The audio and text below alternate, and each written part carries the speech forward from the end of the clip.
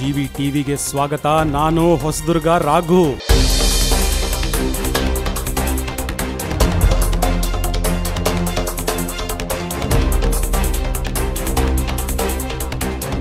ನಮಸ್ಕಾರ ವೀಕ್ಷಕರೇ, ನಾನ್ ಕಾವೇರಿ.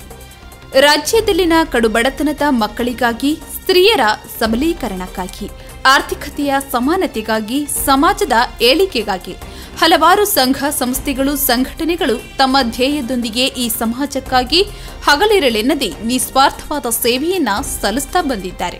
ಹಾಗೆಯೇ ಈ ಸಂಸ್ಥೆಯ ಸೇವೆಯು ಕೂಡ ಅಭೂತಪೂರ್ವವಾದದ್ದು ಅಂತಾನೆ ಹೇಳಬಹುದು. ಹಾಗಾದ್ರೆ ಯಾವ ಸಂಸ್ಥೆ ಅಂತೀರಾ? ಮುಂದೆ ನೀವೇ ನೋಡಿ.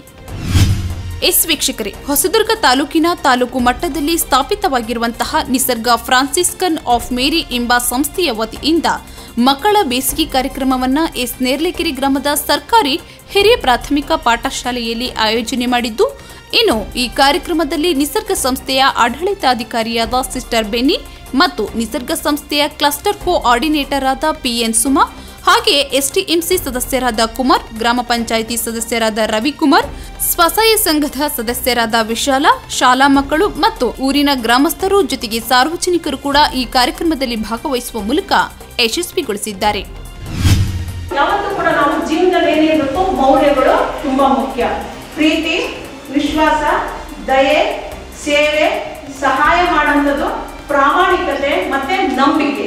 ನಿಮ್ಮ ಊರಿಗೆ ಮಾದರಿ ಆಗ್ತದೆ ನಿಮ್ಮ ಗ್ರಾಮಕ್ಕೆ ಮಾದರಿ ಆದರೆ ಅದೇ ನೀವು ಮಾಡುವಂಥ ಮಹತ್ವ. ಕಾರ್ಯ ಮಾಡ್ತೀರ ಅದನ್ನೆಲ್ಲ ಈ ಮೌಲ್ಯಗಳು ನಾನು ಏನ್ ಮಾಡ್ಬೇಕು ಅದನ್ನ ಯಾರು ಕಲಿಸಲ್ಲ ಅದು ನೀವು ಕಲಿತ ಕಲಿತ ನಿಮ್ಮ ಮನಸ್ಸಿಗೆ ಬರಬೇಕು ನೀವು ನಿಮ್ಮ ಜೀವನದ ಒಂದು ಕನಸು ಕಾಣಬೇಕು ಭಾರತದಲ್ಲಿ ಅತಿ ಹೆಚ್ಚು ವಿದ್ಯುತ್ ಉತ್ಪಾದಿಸುವ ರಾಜ್ಯ ರಾಜ್ಯ ಯಾವುದು? ಇದೆಲ್ಲ general knowledge next nine nine ಯಾರಿಗಾದ್ರೂ ಗೊತ್ತಿದೆಯಾ? ನಾನು ಬೆನ್ನಿ, ಸಿಸ್ಟರ್ ಬೆನ್ನಿ, ನಿಸರ್ಗ ಸಂಸ್ಥೆಯ ಸದಸ್ಯ ಆಡಳಿತ ಮಂಡಳಿಯಲ್ಲಿ ಕೆಲಸ ನಿರ್ವಹಿಸ್ತಾ ಇದ್ದೇನೆ. ನಮ್ಮ ಮುಖ್ಯ ಉದ್ದೇಶ ಗ್ರಾಮಗಳಲ್ಲಿ ಇರುವ ಬಡ ಜನರಿಗೆ ಆರ್ಥಿಕವಾಗಿ, ಸಾಮಾಜಿಕವಾಗಿ ಮುಂದೆ ಬರಲು ಸಹಾಯ ಮಾಡುವುದು.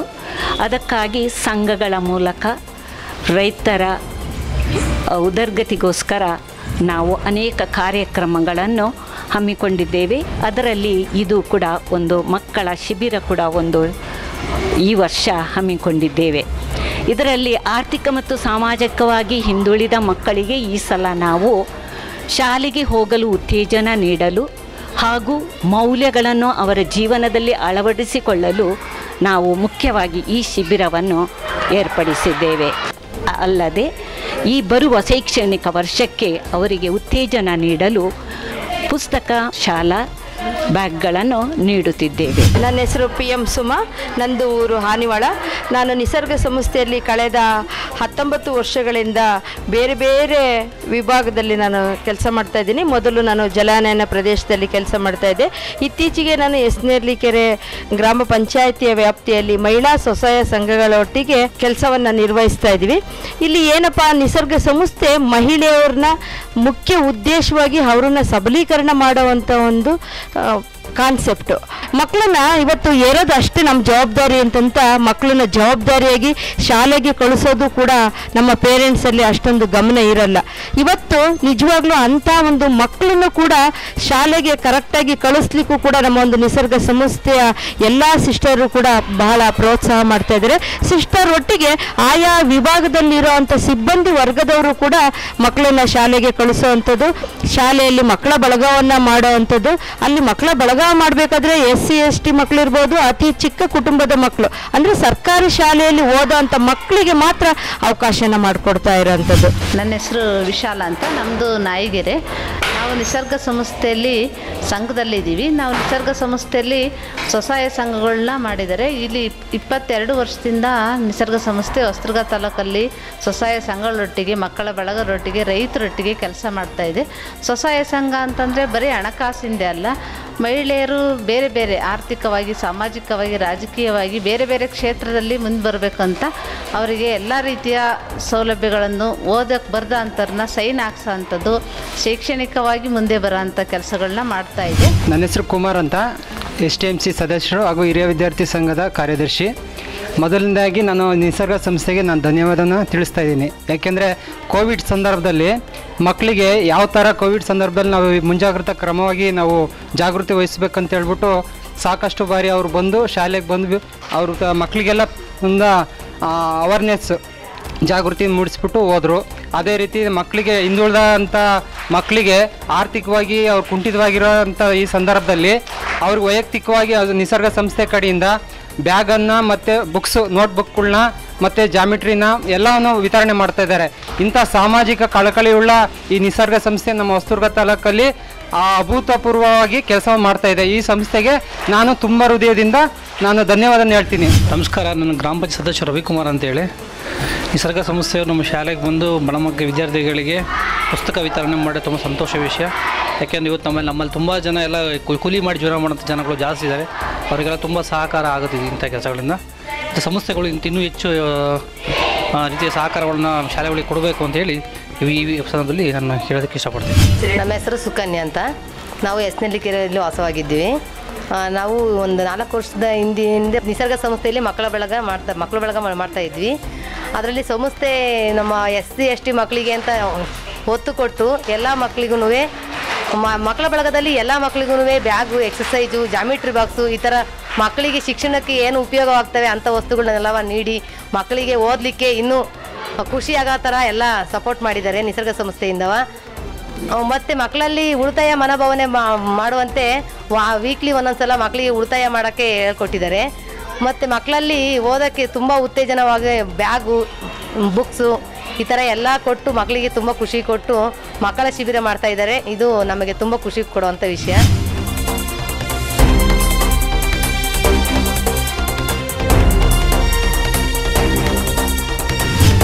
ಇನ್ನು ಈ ನಿಸರ್ಗ ಸಂಸ್ಥೆಯು ತಾಲೂಕಿನಲ್ಲಿ ಕಳೆದ ಇಪ್ಪತ್ತೆರಡು ವರ್ಷಗಳಿಂದ ತಮ್ಮ ಸೇವೆಯನ್ನ ಸಲ್ಲಿಸುತ್ತಿರುವ ಹಾಗೆ ಈ ವರ್ಷನೂ ಕೂಡ ಬಡ ವಿದ್ಯಾರ್ಥಿಗಳಿಗೆ ಮತ್ತು ಪರಿಶಿಷ್ಟ ಜಾತಿ ಮತ್ತು ಪರಿಶಿಷ್ಟ ಪಂಗಡದ ಮಕ್ಕಳ ಆರ್ಥಿಕ ಮತ್ತು ಶೈಕ್ಷಣಿಕ ಅಭಿವೃದ್ಧಿಗಾಗಿ ಜೊತೆಗೆ ಮುಂದಿನ ಶೈಕ್ಷಣಿಕ ವರ್ಷದ ಅಭಿವೃದ್ಧಿಗಾಗಿ ಈ ಎಲ್ಲ ಮಕ್ಕಳಿಗೆ ನೋಟ್ ಪುಸ್ತಕ, ಪೆನ್ನು, ಬ್ಯಾಗು ಮತ್ತು ಇತರೆ ಸಾಮಗ್ರಿಗಳನ್ನು ಕೊಡುವ ಮೂಲಕ ಮಕ್ಕಳಿಗೆ ಹಾಡು, ನೃತ್ಯ ಜೊತೆಗೆ ಆರೋಗ್ಯದ ಮೌಲ್ಯಗಳ ಬಗ್ಗೆ ತರಬೇತಿಯನ್ನ ನೀಡಿದ್ದಾರೆ. Vamos lá.